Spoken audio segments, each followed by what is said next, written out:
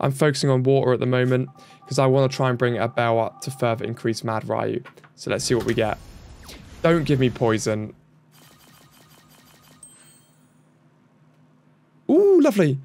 Okay, that's exactly what I wanted.